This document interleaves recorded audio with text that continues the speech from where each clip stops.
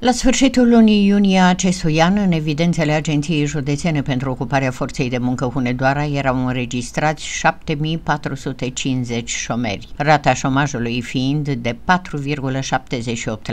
comparativ cu luna precedentă, când rata șomajului a fost de 4,87%,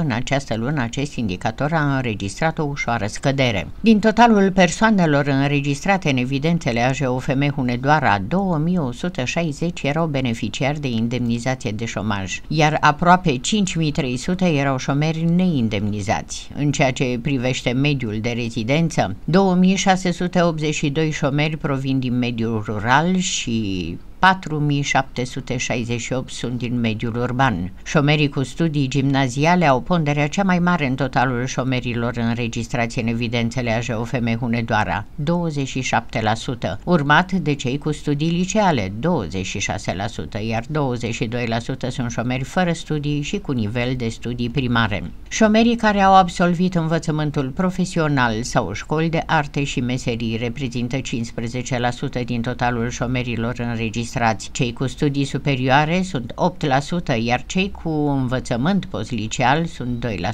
Structura șomerilor înregistrați pe nivel de ocupabilitate stabilit prin profilare se prezintă astfel. 274 de persoane sunt foarte greu ocupabile, 1805 greu ocupabile, 4971 mediu ocupabile, iar 400 sunt persoane ușor ocupabile.